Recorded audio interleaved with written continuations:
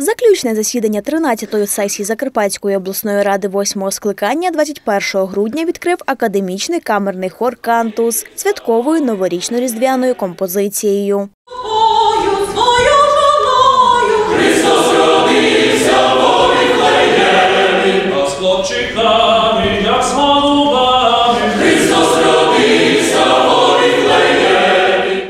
На черговому засіданні в сесійній залі 49 депутатів. На порядку денному близько 30 питань. Розпочали роботу з кадрових змін. Відтак у Закарпатській обласній раді представили двох нових депутатів. Обранцями стали представник політичної партії за майбутнє Іван Барна та представник від Закарпатської обласної організації політичної партії КМКС партії угорців України, ректор Закарпатського угорського інституту Степан Черничко. Вони прийняли присягу і вступили у повноваження. На жаль, е, нас покинув Борто Йосип Йосипович. Е, Відповідно, політична партія КМКС е, подала наступного кандидата, який був по списку.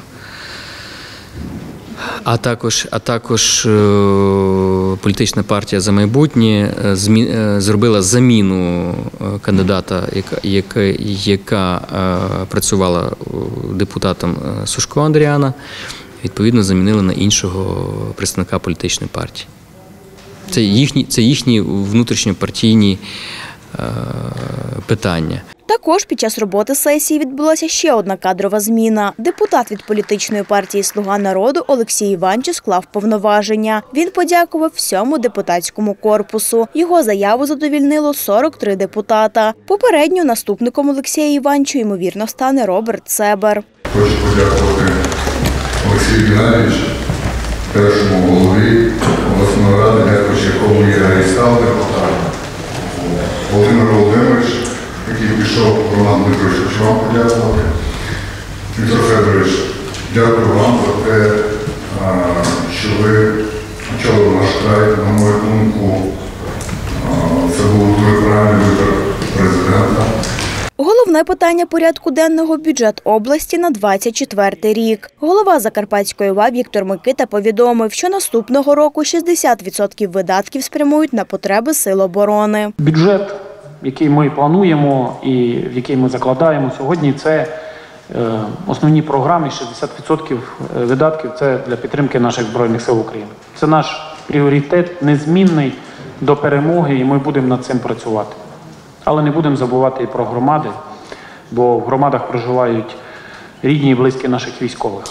І е, десятки разів перебуваючи на лінії фронту, спілкуючись з ними, е, перше питання чи все добре в Закарпатті, їхні діти в безпеці, батьки в безпеці, всі мають роботу, спокійно живуть. І ми з вами, з нам, у нас з вами це велика, велика відповідальність. Під час роботи сесії депутати Закарпатської обласної ради схвалили проект бюджету на наступний рік. Відтак він складає 2 мільярди 1 мільйон гривень. Порівняно з минулим роком це менше на 9,2%. Пов'язано це перш за все з втратою військового ПДФО. Сьогодні війна. е, Ми сьогодні основні акценти, я би сказав, зроби, е, ми зробили на е, потреби військових та витрати, які пов'язані з війною.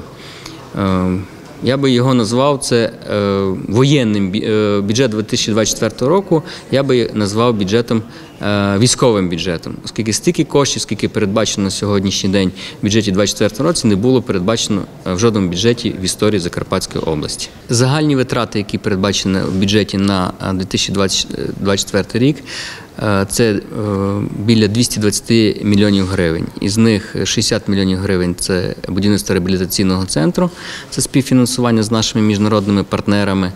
Е, 55 мільйонів гривень це е, цивільний захист та е, підготовка населення до, національного супротиву, а також е, інші витрати пов'язані із е, війною. У ході пленарного засідання депутати ухвалили рішення проголосити 24-й рік роком Августина Волошина. Також депутатський корпус Закарпатської обласної ради звернувся до Української асоціації футболу з проханням дозволити проведення матчів прем'єр-ліги на стадіонах Авангард у місті Ужгород та Минай Арена в селі Минай у другій частині чемпіонату України з футболу. Проект підтримали 50 депутатів.